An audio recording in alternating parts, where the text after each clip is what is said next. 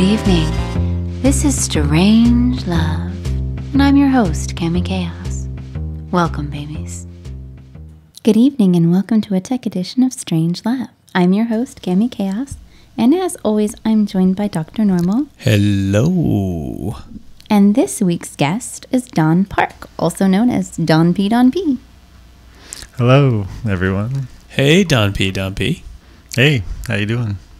So, what are we talking about tonight? Okay, so this is the episode where the host, that's me, is going to ask the guest, that's Don, a question. And Don is going to explain it like the host doesn't understand at all. No, surely not. Purely hypothetical situation. this is the tech edition, isn't it? so, aside from what I've grown up with in science fiction, tell me what Android is before you get into anything that it can do. Mm-hmm. What is it? We're going to talk about androids. Mm. Not androids, Android. Android. Android is a software platform. It was written by Google. Google does many cool things on a very large scale, and they feel that, and I agree with, the future of computing is not desktops, it's not laptops, it is cell phones. Cell phones will outnumber desktop computers, well, will have already outnumbered laptop computers combined. And uh, they are what computing will be. Uh, computing will be very personal. Uh, it will be always with you. As I bicycled here to the studios tonight, I passed two 10 year olds sitting on a sidewalk curb in the dark. And they're looking at each other, talking to each other, but each one had a cell phone in their hand. Um, they had that, that glow that you can tell from a, a long distance that it's a, it's a screen, it's an LCD screen. And that was their entertainment was cell phones. Uh, and so google knows this that cell phones are the future of computing. And so they wrote a software platform an operating system called uh, android. And they wrote it uh, based on java the programming language java which exists and has existed for a long time has a lot of engineering behind it and a lot of software. Has already been written. It's considered the new cobol java is. And uh, so they took this java language and they rewrote it to with uh, cell phones in mind. And they made it completely open source.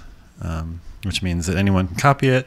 It eliminates a zillion problems and questions about who owns what and who gets paid for what that you're seeing on the iPhone platform uh, by making it open source. And rather than having one phone, originally people uh, said there's going to be a Google phone, but there isn't a Google phone. There's a Google That's what I was going to ask about.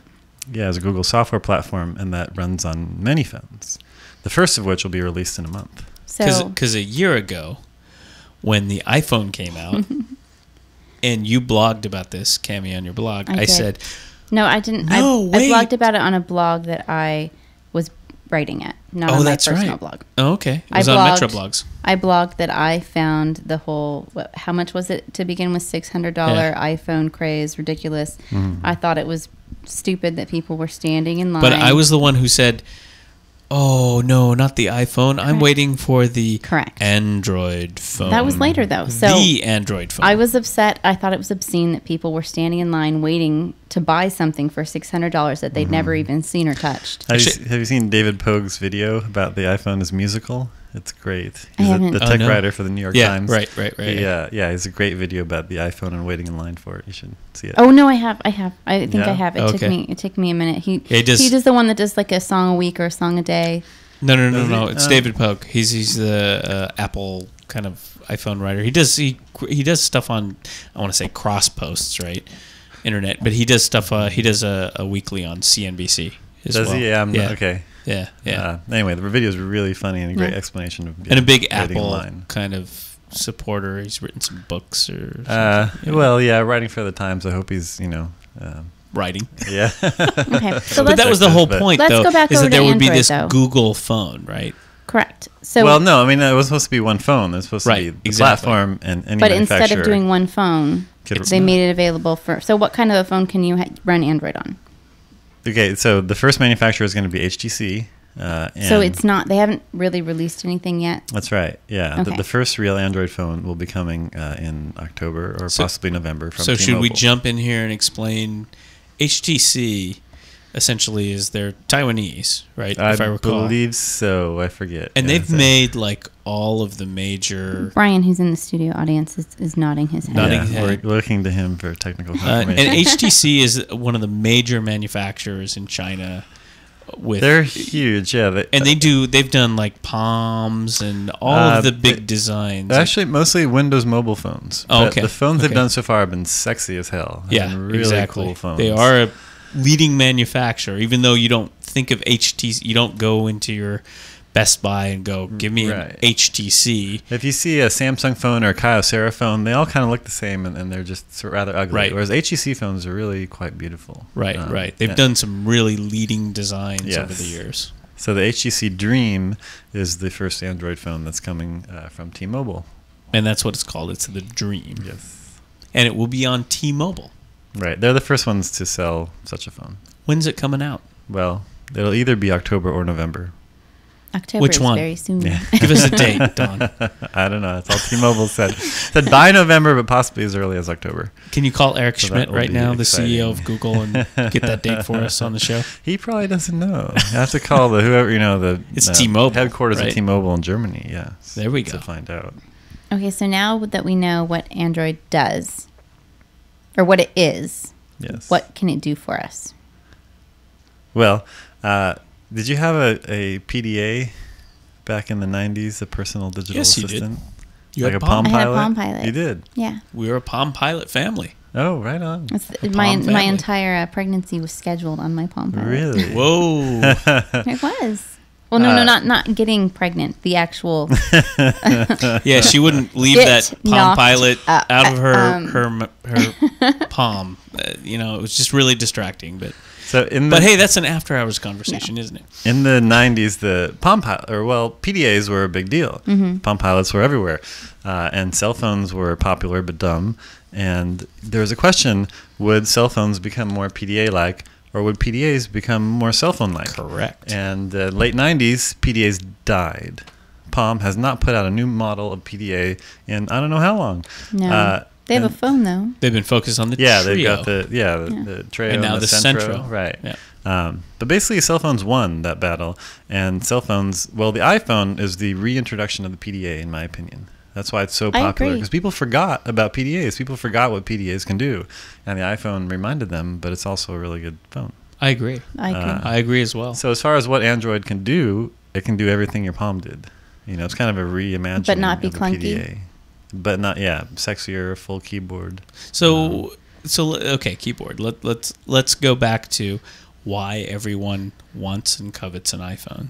And by I mean everyone, I mean most people, right? I mean, not Yeah. everyone does, but Yeah. Um, But yeah, I let's- don't, I don't think Don covets an iPhone, and I don't We'll think talk next about week's that. guest. We'll talk uh, talk I don't about think he covets an iPhone either. but but the, the the issue here is that one of the things that the iPhone and the i iPod Touch have is that interface, that liquid interface, the you know moving your fingers. And yeah, it's, a, it's a sexy interface. I mean, Apple has the sexiest hardware of anyone. You know, just no questions about it. And I would, I would actually love to own an iPhone, but it's the other requirements around the iPhone that keep me from Right, it. right. Uh, but will will so my question is, how will Google play? Because if we if we agree that, um, you know, if there's one thing that Apple does well, it's the the user interface. Right? They are Right. about the user experience. This is why they're successful.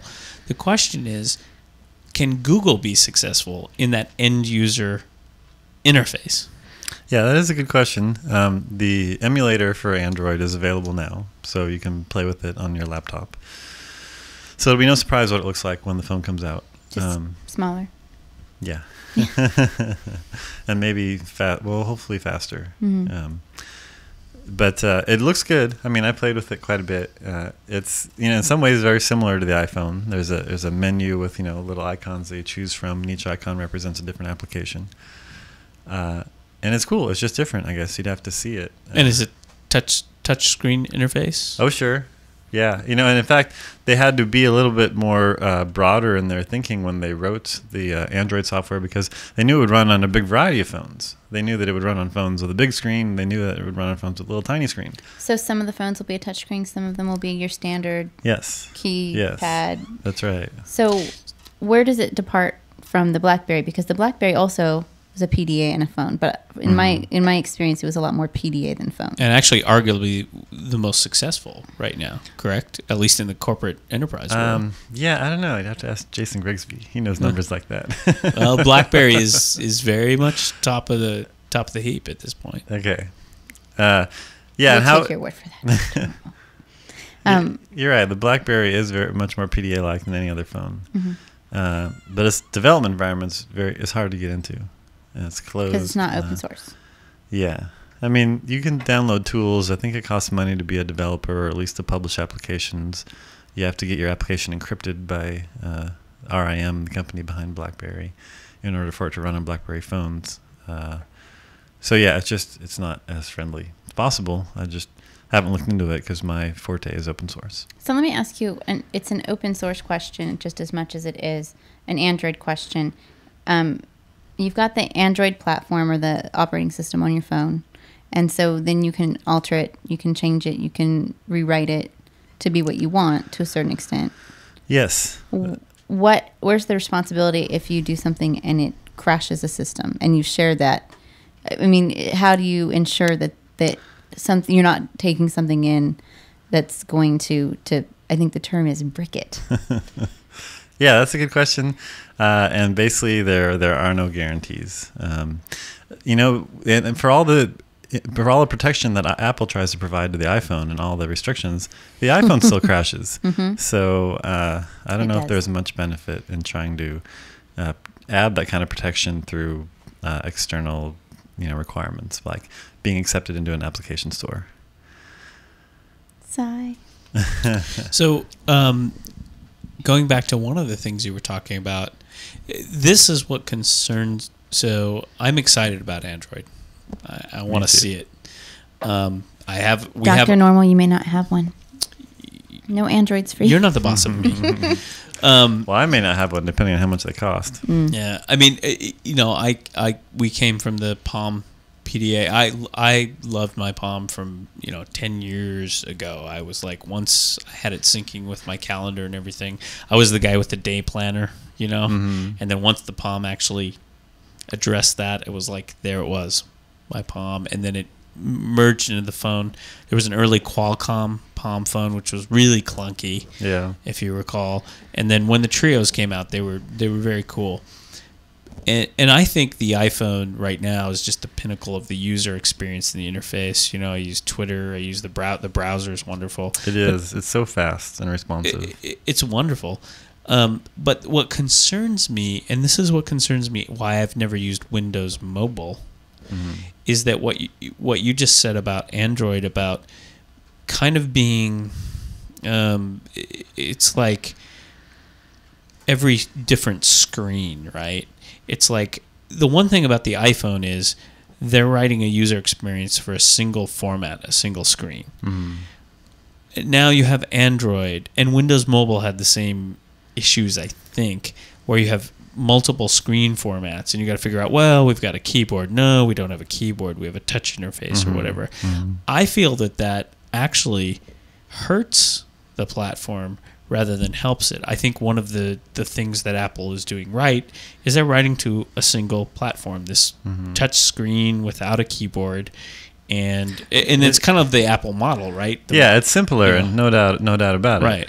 Uh, people writing for Apple hardware have got it simpler as well because the MacBook Pros are very standard. You know what kind of hardware you're writing for. So yeah, no, no question, it is simpler. and that's what concerns me about i mean i don't think that um i don't think that any solution is going to be perfect on every format or every screen right or every keyboard layout Yeah, developers will have to remember that there are like a variety of screens, some Right. with keyboards, some without. right so i don't know i mean how, how do you see that as far as su- su- criteria Well, for I- success yeah, for I think Google that a Android? certain form factor is going to be very popular. So I think that an iPhone-like form factor uh, will be very popular Gotcha. amongst Android phones, and people without that, people who are buying phones that are deviating from that platform, will probably be in the test case that you know nobody develops for, and that will probably suck. Um, but the applications will run. Will there be a different? I mean, will there be a different operating system, or a different version of the operating system for those phones? No, no. I mean, it's, No? the one version is meant to run on, on all kinds of hardware. Um, so yeah, their experience will probably be not as good, uh, but they can at least run the same software. I mean, at least you know it will work. It may not just look as good. Okay, just won't be as cool. Yeah. Is it actually a Linux-based kernel, or is it? Yeah, yeah, it is Linux uh, from the ground up. There's Linux and uh, libc, and then there's the custom Java virtual machine that Google wrote, and a bunch of Java libraries. So all the all the applications it will, will run will be will be then the Java-based applications. Yeah, that's right. And how do you, have you ever have you ever uh, one one platform that I've never uh, really worked with? I know somebody who's actually very into open source and actually was into this platform as well years ago. Is the Symbian platform? Have you worked with that? How does that compare to Android? I, I haven't worked with Symbian, um, but I know that they've open sourced uh, just this year. They announced it at OSCON, I believe. Uh, but the thing with Symbian was that you know they said we're open sourcing. We know this is the way of the future, and the only way to compete is to open source the platform. But the first open source based cell phones will be in 2010. So oh yeah, it's gonna take. It's kind of a non-issue because it's gonna take them so long to get there. we want our toys now. yeah, exactly. I'm Well- not very patient. we want our toys for Christmas 2008. So yeah, Symbian is a very important platform, uh, but that's going to take them a long time to move to open So source. if you, being the mobile expert that you are, Mm-hmm.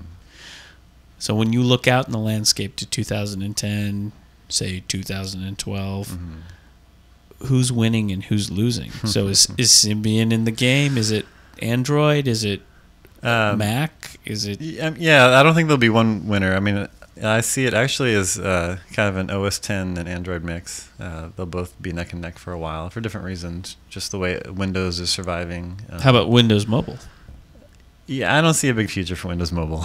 Really? yeah. I didn't, Why is that? I I don't think- even know anyone that uses Windows Mobile. Well, I mean, Yeah, it, it is I- pop. I mean, do the- you know anyone who the- uses Windows Mobile? yeah, in the past, yeah, yeah. The desktop now, though. paradigm doesn't transfer to a cell phone very I well. agree. So that's m- the main reason why The- I it- don't it's- see it lasting. what what and this is the concern I have with Android is when you look at the interface and like you said you're dealing with different resolution screens, Mm-hmm. smaller screens, bigger screens, um, keyboards, and it's like you need to take that into account. And I think that's one thing that the Palm OS originally did so well is they dealt with screen real estate so well.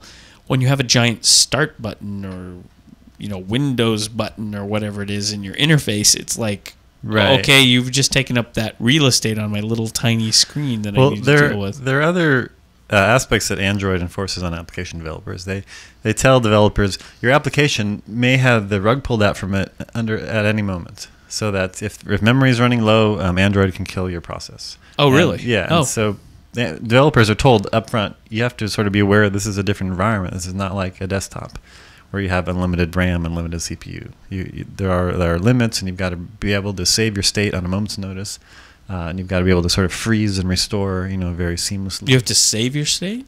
yeah, I mean, you'll The, get the yeah, program has to be able Right. to. yes. yeah. The program will say you've got you know 50 milliseconds to save your data because you're going to die. So the operating system sends a Yeah. an interrupt in the signal and says Yeah. you better save your state because we're checking that's, out. That's right. really? Yeah. So I mean, and, and, you know, I think the iPhone is similar. Yeah. It's, I uh, was just yeah, I was going to ask because I'll be doing something on my iPhone and it'll decide it doesn't like it and it'll just shut the program down and go back to the main screen. Yeah, Yes. and you're always jumping in and out of iPhone apps, Mm-hmm. right? Because iPhone doesn't multitask, No. which is unbelievable, but it doesn't. That is my Right. that is my one big criticism is that it does one thing at a time. Well, neither Yeah, did that's right. neither I mean- neither did the Palm That's right. Yeah. as well. Uh, I No, mean, but it the- doesn't necessarily n- mean that you have to multitask. but I always wanted mobile. Palm to. I mean, the the Palm, you like- know that I don't think they really upgraded that aspect of it ever. And so when the iPhone came out, I was kind of hoping for a little bit more. Also, I'd love it if I could have an SD slot on my yeah. iPhone. yes. Oh, yeah, yeah. That's Well, another yeah. way Apple locks you in. Whereas the Android phones will have micro SD card slots, Yeah. so that you can expand them. Yeah. Nice. Yeah, that'll that'll be a big plus. Absolutely. Yeah, because I mean, it was uh, Windows 3.1 could multitask, right? I mean, Right, It was DOS right. that could Yeah. multi. You know, we're going back to DOS. Like, you know, that's Yeah. So uh, do you act? So you are running uh, when you're developing. You're running an emulator on your desktop. You are not Right. actually running hardware. right. It's Are you- the Eclipse platform. The clip. Yeah, It's called Eclipse. It's a popular Java platform. And, Oh, uh, okay. and Google releases an SDK that integrates with that, and there's a really nice looking emulator. It looks just like the phone that I believe that it was modeled after the HTC Dream, so it actually looks like the first phone that will come out. So Hmm. Dreaming. Actually, Palm did the same thing years ago Mm. when Palm came out. They did the same thing. They had a desktop emulator, and people would write for the emulator before the actual hardware came out. Yeah, that's right. So many years ago, that was for the uh, DragonBall processor. that's right. So- yeah. Do you have any insights into the hardware? What what kind of processor? What the HTC is going Uh, to be running? No, I don't. I just wanted to have a GPS receiver so that I can do the uh, continual location application. Well, so since it's Google, wouldn't that be a given? Not necessarily. I mean, it's think up so? to the manufacturer. Whatever they feel like, you know, they can afford to put into the phone, whatever they think they're going to sell, they'll put in. So, why do you want to have the continual locator ability? Do you want people to know where you are at all times? Pretty much, yeah. I do. Yeah?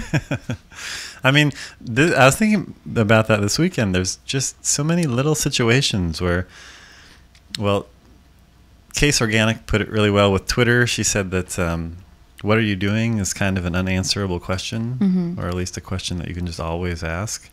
Where are you is another one of those big questions. Where I Um, am is almost always in one place. I don't see. I, I I don't move around a lot. I have my daily routine. I go from point A to point B Mhm, to point mhm. C, back to point A, repeat.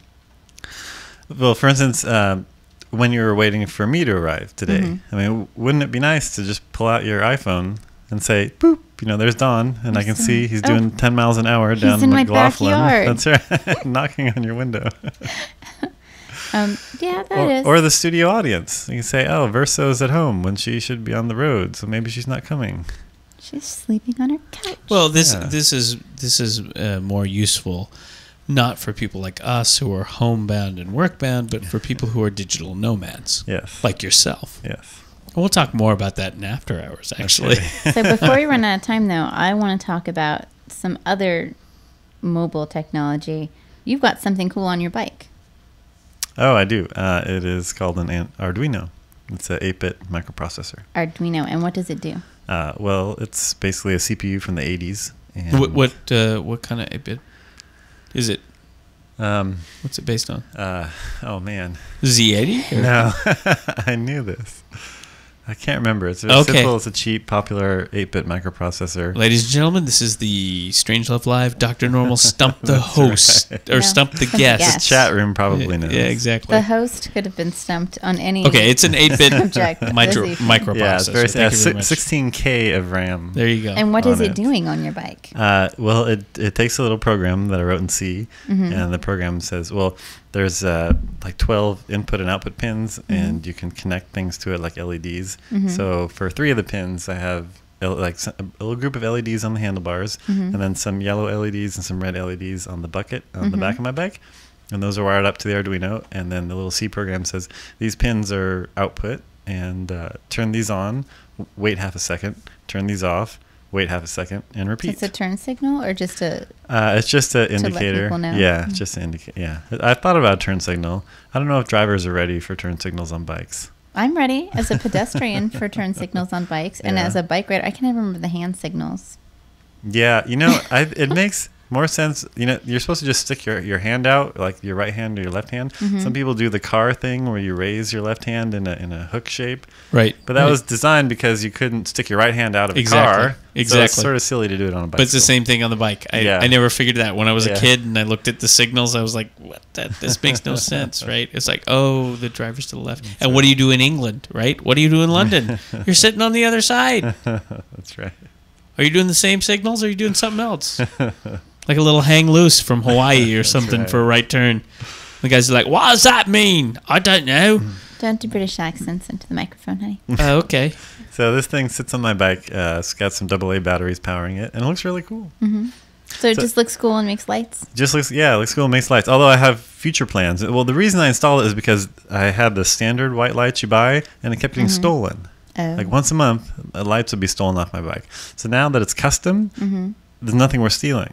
There's like four LEDs and some loose wires. Because they wouldn't know what to do with it. Yeah, you wouldn't. You would. Yeah, it has no value by itself. So it's interesting in that you know it's it's a it's kind of expressive because I can build it in any style or shape I want, Very cool. and uh, nobody wants to steal it. But uh, there's now everybody who listens to the show is going to yeah. find Don's bike and take it. Oh, look what I There's an expansion plan though. The bucket in the back, okay. Mm-hmm. I want a, a motor that just moves up and down like six inches, Mm-hmm. and then I want to put a head on that, right? And so the cover of the bucket is just uh, like cardboard. It's very easy to push up. Mm-hmm. So if just at random times the little Arduinos powered the motor up and the head went, meh, you know, like it looked around like that freak Okay. people out. Wouldn't that be That would great? be really awesome. We're definitely getting into after hours uh, Burning Man after Okay. burn issues here. Yeah, because you know you- there's better issues? processors you can use. Um, so so October, November, it's going to be from, Android. from T-Mobile. They're going to try to rope you into a two-year contract, which I'm not going to do. So that's why I'm curious about the price, because if you know if it's like seven hundred dollars with no contract, Wait a minute. I'm not going to get one. Here's a question: You can jailbreak an iPhone. Will you be able to jailbreak an Android? Phone? Well, you see, there's no need to jailbreak an Android Okay. phone. So, so no, I mean you can do whatever you want with an Android phone. That's why people like it. well, but the Well- reason people jailbreak an iPhone is to Different provider. to to to get a different provider. So, say I'm like, oh, I really want my Android phone on AT and T. Okay, so yeah, that's called a locked GSM cell phone, right? Mhm, So, okay, here's here's one thing that of, of many things that Google does that's that's great. There's the Open Handset Alliance that Google created to say mm-hmm. if you want to you know be part of this Android movement and you're, you're a big cell phone company, be part of the Open Handset Alliance. To be part of the Handset Alliance, you cannot modify Android to lock the phone to your, your own carrier. oh, so, they, can el- just they just it. eliminated that straight off. Yeah, It's just that T-Mobile is the one selling it. that's right. Okay, that makes sense. So no, you can't jailbreak it to change companies. So well, yeah, I mean, there's no need to, right? care. It's, it's Okay. already broken. Is it going to be expensive? Do you think? Yeah, I don't know. I think it will be. I mean, I think T-Mobile wants to make as much money as Apple is. They're drooling over the revenues that AT and T and Apple are getting. Yeah, but they dropped the price. So Well, yeah, that's my question. Will they will they release it to parallel the original cost of the iPhone or the current cost? Yeah, it's hard to say. Because let's see, know. the when the iPhone first came out, it was six hundred, and then it went down to three, I think, or maybe it went down to four, and then it went down to three, and then the three G came out, and the three G was two. yeah, yeah, It's just two hundred bucks. yeah. For the eight Yeah, gig, but the contract With is a- more. yeah. two the year- monthly plan is more. two year contract and some DNA samples and yeah, you know you. Firstborn. yeah. I'm on prepaid cell phone. I like that. No burners. What? You do burners. Bur- uh, what are burners? You prepay them and you use the minutes and then you, You throw just- the cell phone away. oh God, no. Burners. yeah. E-waste is a whole nother issue. No, I mean I use the same cell phone. I just recharge the SIM card. Right, right, right. I mean, it's essentially a burner. You can still blow the phone if you if you want to. But Yeah. yeah. If you wanted to be a secret agent and you need It's how the terrorists roll, Don. Yeah.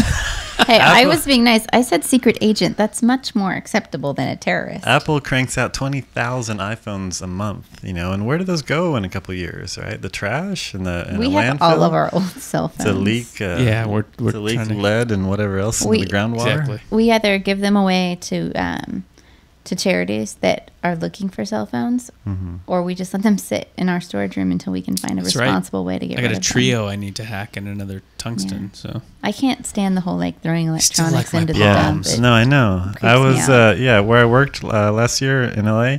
There was a cordless phone right in the office, and the uh, the manager just didn't like the model anymore. He just picked the whole phone up with power supply, went over to the trash can, and just dropped it in the oh my god! And I'm like, no, don't do that. So I found a e recycler and took it Yeah. to him, and he's hey like, Don, it's America. Come on. He's like, Come on, okay, if you want to go through the hassle, it's like, yes, I want to go through the hassle. I'll take it to their e-recycler. Well, we we appreciate your uh, your greenness in the uh, in the tech world, We appreciate you not murdering the earth. Mm. and uh, we'll be uh, coming back for after hours, and we'll probably talk more about e-waste All right.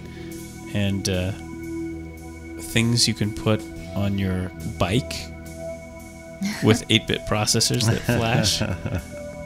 Be sure but to thanks for talking us. about on. Android. We uh, we're gonna have to get an update in uh, when this thing comes out. Thanks in for having me on the October or show. November. That's yeah, right. it'll be exciting in a month. Thank you for joining us. Stay tuned for After Hours, and please join us next week when we have Aaron Hockley on the show to talk about WordCamp Portland.